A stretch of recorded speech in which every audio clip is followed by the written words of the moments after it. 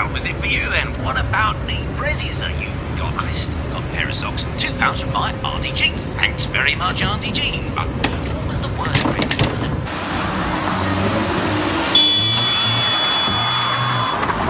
Rick said he's an Arsenal fan now, Shirley. How well do you know him?